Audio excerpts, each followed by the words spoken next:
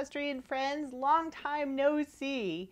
And I've been away for about a week and I apologize for that, but my husband and I took a small vacation and I thought I would share with you guys what we did with our animals while we were away on vacation. Since our horses are at home, we really don't get away very often because there's the huge issue of who's going to take care of the horses and who's going to take care of our dogs and chickens as well. So I came up with a really fun idea so I didn't have to worry about who was going to take care of the animals while we were away and I could make sure that they were going to get the care that they needed. So I enlisted the help of my daughter and in order to make it as easy as possible for her, I wanted to make a video to show her this is how I take care of my horses during the morning and during the night and also the other animals that we have too. And I wanted to share the video with you so you can see what I did. And that way, if you're planning on taking a trip away from home, this might help you in case you have someone coming to take care of your animals. So without further ado, let's look at the video that I made for my daughter. Hi, Katie, Seth, and Brian. Thank you for watching the animals. And I wanted to make a little video to show you guys kind of what we do. So first things first, we have extra muddy boots and extra muddy shoes. I would highly encourage you to wear these muddy shoes out to the barn because it could be muddy. So let's go out to the barn.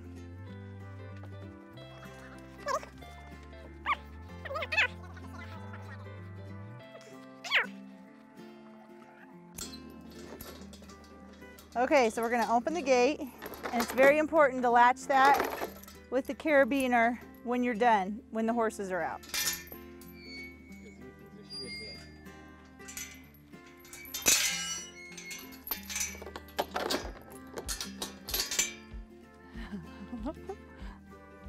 Just in case you were wondering, this is Ethan. Ethan has the white star on his head and he has no white legs. Okay, let's go in the barn.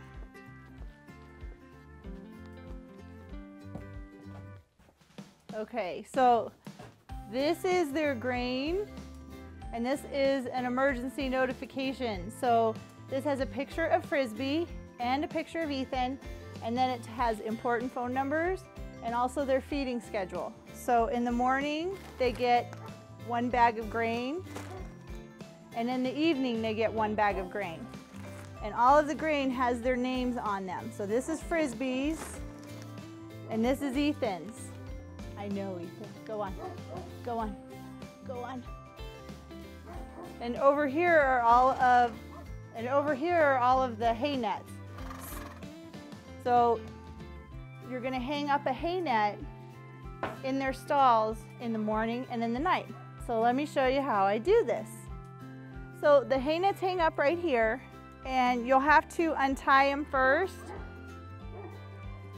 And you just, it's got little knots. That's all it is. And you just, and you just untie the knots.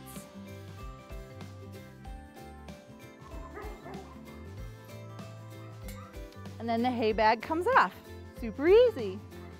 So once the hay bag comes off, then you have to replace it with a new hay bag. So let me show you how to do that. All right, so we have a hay net. Ooh, it's muddy. Make sure you wear the muddy shoes. And what you're gonna do is take the hay net, put it inside the stall, and there's a little hook on the green panel. You pull those through and see Ethan will already go in when he sees you feeding him. Then you're just gonna wrap the string around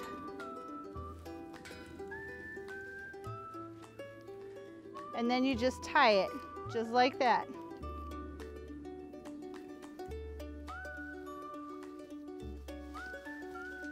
And that's it. And Ethan will do the rest.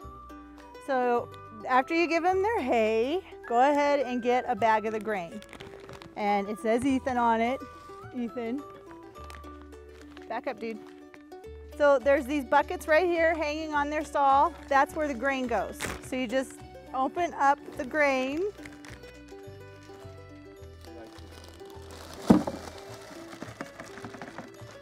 And dump it in there. And it's done. But one thing you gotta make sure after you give them their hay and their grain, so this is for nighttime because in the morning they'll already be locked up. But after you give them their hay and their grain, make sure you lock their stall door.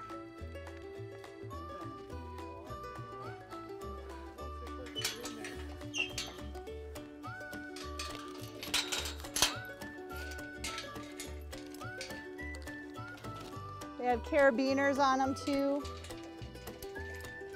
And then Ethan's tucked in for the night. So now we'll do a speeded up version of Frisbee with the hay net.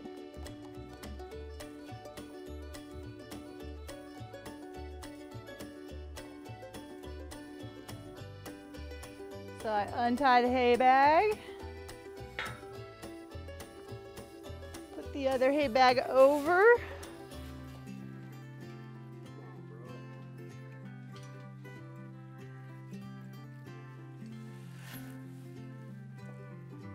And you just wrap it around. And tie it.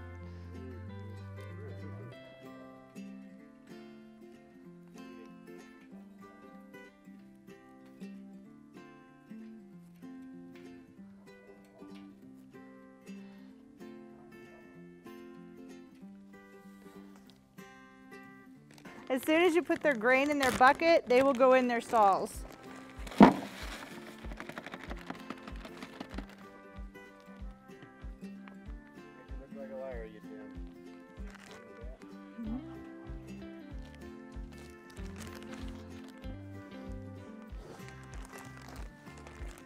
Back up. Thank you.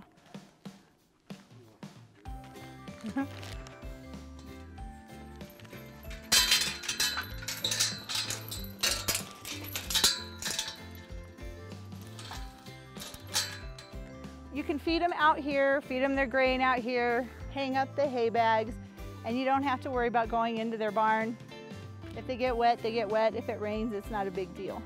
Now, if you're wondering which horse goes in which stall, I put stall signs or pen signs on the outside for you to see. So this is Frisbee stall and Ethan's stall. Usually they'll go in their correct stall, but just in case they don't, there you go. Okay, so just in case you need them, their halters are hanging right here. It doesn't matter which one goes on which horse. They're rope halters, so the knots are for their nose. And you just put that through there and tie it, and then you have a halter.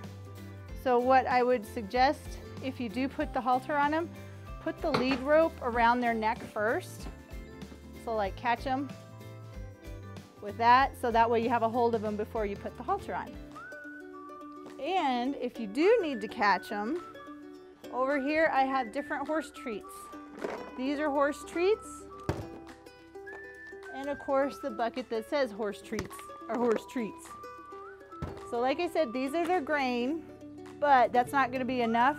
So right here, I have more grain. So this is full of Ethan's grain. This is full of Frisbee's grain. In case you need more grain, I don't think you will. This is Frisbee's. Oh, I'm sorry. The one that says senior is Frisbee's, and this is Ethan's, and then these are the grain scoops on top. All right, so now we're gonna learn how to fill a hay bag. And you don't have to do this. If you want, you can just give them like three flakes of hay in the morning on Monday when you leave, and it'll be fine. So what you do is you take the long rope and you tie a knot in the end and you stretch it out and put it in the trash can.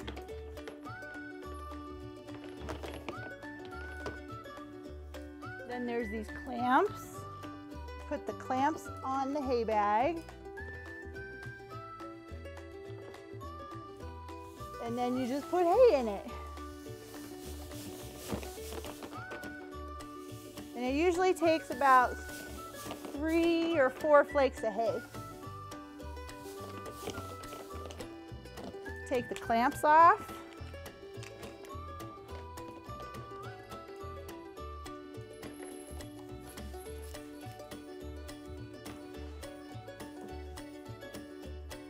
Untie the knot. Oops. And you just build a hay bag. Pretty cool.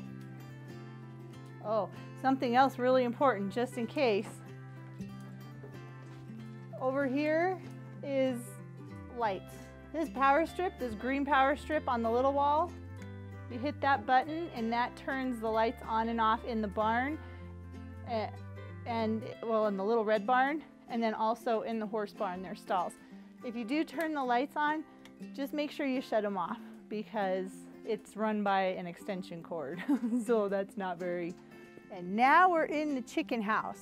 Now, Dale says the chickens are a lot easier than the horses, but it's still really muddy. So make sure you wear these muddy shoes and not your good shoes because it's kind of disgusting. So the chickies have a treat block that stays out here all the time. And then we feed them, usually I feed them in the morning and their food is over here in the corner.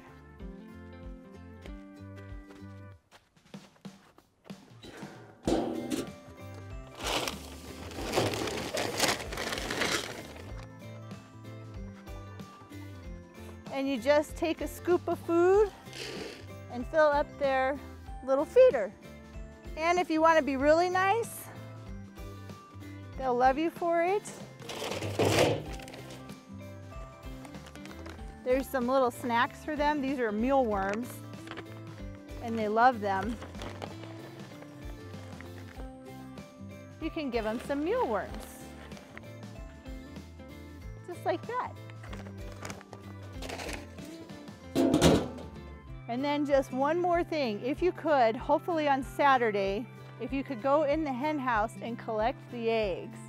Let me show you how to go in the hen house. Or maybe you could have Seth do it. Okay, this is the hen house. All you have to do is open this big door and this is where they roost and just see if there's any eggs in there. If you could get them, that would be great.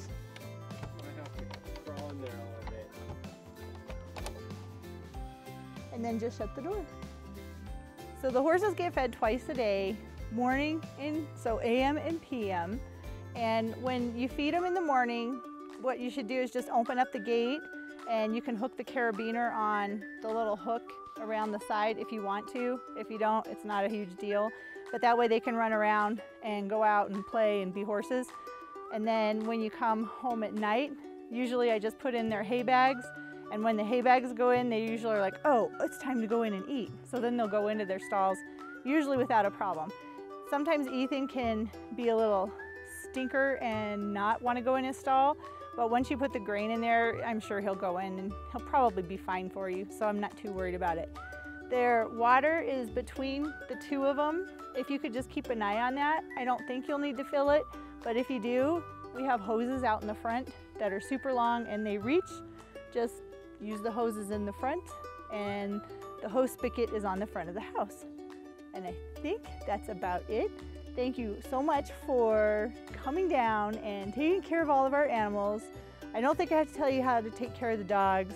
There's tons of treats in there, tons of food in there. As long as they have food and water, they're happy. I love you very much. Thank you, thank you, thank you, and we will see you soon. I think that was pretty fun. What do you think? I just wanted to give you an idea of something that you can do in case you do have to go out of town or you want to take a vacation and get away for a little bit and not really worry about how your horses are going to be taken care of if you have your horses at home. And hopefully you paid attention in the video. I shared a really neat like command center that I made for my daughter so she would know what the horses look like, when they eat, and emergency contact numbers. That's what I'm going to share with you in my next video. So be sure to subscribe to my channel and you can watch that video next.